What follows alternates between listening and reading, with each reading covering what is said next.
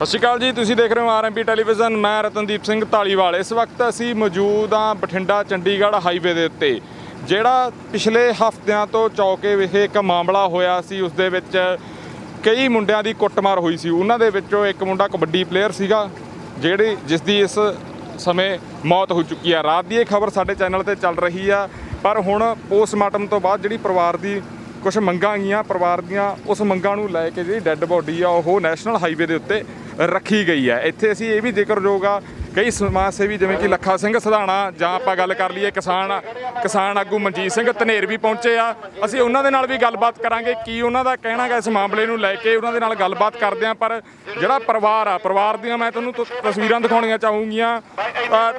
ਪਰਿਵਾਰ ਸਾਰਾ ਸੜਕ ਦੇ ਉੱਤੇ ਬੈਠਾ ਹੈਗਾ ਪਿੰਡ ਵਾਸੀ ਸੜਕ ਦੇ ਉੱਤੇ ਬੈਠੇ ਨੇ ਤੇ ਆਲੇ ਦੁਆਲੇ ਦੇ ਪਿੰਡ, ਜੇ ਮੌੜ ਹਲਕੇ ਦੀ ਗੱਲ ਕਰਦੇ ਆ ਰੰਪਰੇ ਹਲਕੇ ਦੀ ਗੱਲ ਕਰਦੇ ਆ, ਤਾਂ ਦੋਨਾਂ ਹਲਕਿਆਂ ਦੇ ਜਿਹੜੇ ਪਿੰਡ ਆ, ਪਿੰਡਾਂ ਦੇ ਲੋਕ ਆ, ਉਹ ਇੱਥੇ ਆਉਣੇ ਸ਼ੁਰੂ ਹੋ ਗਏ ਆ। ਤੁਸੀਂ ਦੂਰ ਤੱਕ ਆਹ ਤਸਵੀਰਾਂ ਦੇਖ ਸਕਦੇ ਹੋ।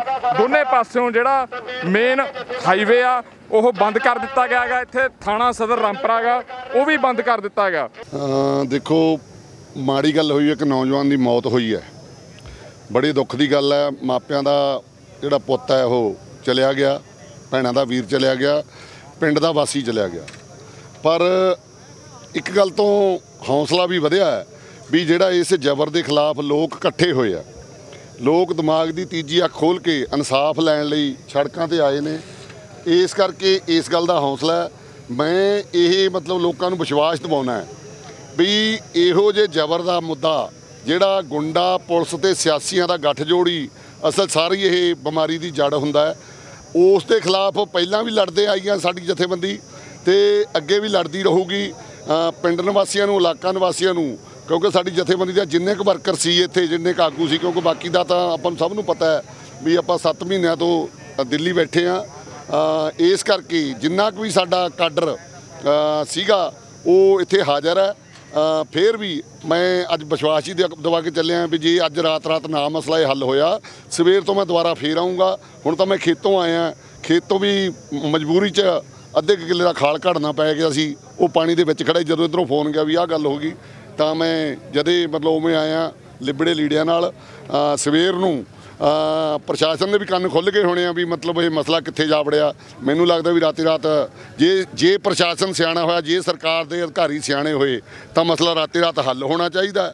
ਨਹੀਂ ਫਿਰ ਮਸਲੇ ਹੱਲ ਕਰਾਉਣ ਅਸੀਂ ਜਾਣਦੇ ਹਾਂ, ਕੋਈ ਪਹਿਲਾਂ ਨਹੀਂ ਕਰਾਇਆ। ਚਾਹੇ ਉਹ ਸ਼ੇਰਪੁਰ ਵਾਲਾ ਹੋਵੇ, ਜਿਹਦੇ ਵਿੱਚ ਡੀਐਸਪੀ ਗੁਰਜੀਤ ਸਿੰਘ ਨੂੰ ਉਮਰ ਕੈਦ ਦੀ ਸਜ਼ਾ ਕਰਾਈ ਸੀ, ਚਾਹੇ ਉਹ ਮਹਿਲਕਲ ਵਾਲਾ ਹੋਵੇ ਜਾਂ ਇਦੋਂ ਬਿਨਾ ਵੀ ਅਨੇਕਾਂ ਮਸਲੇ ਸਾਨੂੰ ਮਿਲੇ ਨੇ, ਜਿਨ੍ਹਾਂ ਦਾ ਹੱਲ ਕਰਵਾਇਆ, ਲੋਕ ਤਾਕਤ ਦੇ ਸਿਰ ਤੇ ਕਰਵਾਇਆ, ਲੋਕ ਤਾਕਤ ਤੇ ਹੀ ਵਿਸ਼ਵਾਸ ਰੱਖ ਕੇ ਘੋਲ ਲੜਿਆ ਜਾਣਾ ਕਿਉਂਕਿ ਇਹਦੇ 'ਚ ਜ਼ਿੰਮੇਵਾਰ ਗੁੰਡੇ ਤੇ ਪੁਲਿਸ ਤੇ ਸਿਆਸੀਆਂ ਦਾ ਗੱਠਜੋੜ ਜਿਹੜਾ ਉਹ ਹੈਗਾ ਜਿਹੜਾ ਨਸ਼ਾ ਬਕਾ ਰਿਹਾ ਤੇ ਪਹਿਲਾਂ ਵੀ ਆ ਬੜੇ ਦੁੱਖ ਦੀ ਗੱਲ ਆ ਵੀ 15 16 ਨੌਜਵਾਨ ਇਸ ਪਿੰਡ ਦੇ ਪਹਿਲਾਂ ਵੀ ਖਤਮ ਕੀਤੇ ਆ ਨਸ਼ੇ ਰਾਹੀਂ ਜਾਂ ਕੁੱਟ ਕੇ।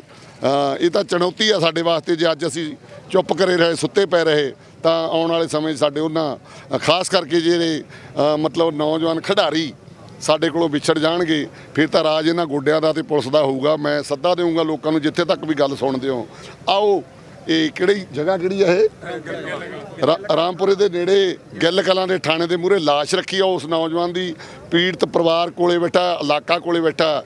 ਜਿੱਥੇ ਤੱਕ ਵੀ ਸਾਡੀ ਬੇਨਤੀ ਨੂੰ ਸੁਣਦੇ ਹੋ ਆ ਜਾਓ। ਇਹੀ ਹੱਲ ਹੈ ਸਾਡੇ ਧੱਕੇ ਧੋੜੇ ਦੇ ਖਿਲਾਫ। ਅ, ਇਕਜੁੱਟ ਹੋ ਕੇ ਇਹਨਾਂ ਗੁੰਡਿਆਂ ਦਾ ਪੁਲਿਸ ਦਾ ਤੇ ਸਿਆਸਤਦਾਨਾਂ ਦਾ ਜਿਹੜਾ ਨਸ਼ਾ ਪਕਾ ਕੇ ਸਾਡੇ ਨੌਜਵਾਨਾਂ ਨੂੰ ਗਾਲਣਾ ਚਾਹੁੰਦੇ ਆ ਉਹਨਾਂ ਜਵਾਨੀਆਂ ਨੂੰ ਗਾਲਣਾ ਚਾਹੁੰਦੇ ਆ। ਜੇ ਕੋਈ ਜਵਾਨੀ ਧੌਣ ਚੱਕਦੀ ਹੈ ਇਹਨਾਂ ਦੇ ਮੂਹਰੇ ਤਾਂ ਉਹਦੇ ਤੇ ਫਿਰ ਲੱਤਾਂ ਤੋੜੀਆਂ ਜਾਂਦੀਆਂ ਜਾਂ ਉਹਨਾਂ ਦਾ ਕਤਲ ਕੀਤਾ ਜਾਂਦਾ। ਆ ਜਾਓ ਇਹਨਾਂ ਦਾ ਮੂੰਹ ਤੋੜ ਜਵਾਬ ਦੇਣ ਲਈ। ਗਿੱਲ ਕਲਾਂ ਦੀ ਧਰਤੀ ਤੇ ਆਓ। ਤੁਹਾਡਾ ਬਹੁਤ ਬਹੁਤ ਧੰਨਵਾਦ। ਚੱਲ ਜਿਹੜਾ ਇੱਕ ਰੋਡ ਜਾਮ ਕਰਕੇ ਇਨਸਾਫ ਦੀ ਗੁਹਾਰ ਲਾਈ ਜਾਂਦੀ ਹੈ ਇੱਕ ਨੌਜਵਾਨ ਦੀ ਮੌਤ ਹੋਈ ਹੈ ਤੇ ਬਾਕੀ ਗੰਭੀਰ ਜ਼ਖਮੀ ਪਰ ਉਸ ਵੱਲੋਂ ਕੋਈ ਕਾਰਵਾਈ ਨਹੀਂ ਕੀਤੀ ਗਈ ਹੈ ਨਹੀਂ ਇਹਦੇ ਵਿੱਚ ਕਾਰਵਾਈ ਪੁਲਿਸ ਵੱਲੋਂ ਕਾਰਵਾਈ ਅਹ, ਜਿਹੜੀ ਜੋ ਲੀਗਲ ਕਾਰਵਾਈ ਹੈ ਪ੍ਰੋਪਰ ਕੀਤੀ ਗਈ ਹੈ।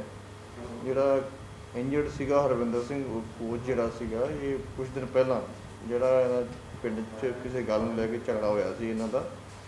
ਇਹਦੇ ਵਿੱਚ ਬਾਈ ਨੇਮ ਜਿਹੜੇ ਹੈਗੇ ਨੇ, ਪੰਜ ਮੁਲਜ਼ਮ ਸੀਗੇ, ਗੁਰਜੀਤ ਸਿੰਘ, ਬੱਬੂ, ਗਗਨਾ, ਸੀਪਾ ਤੇ ਇਕੀਪਾ ਸਿੰਘ।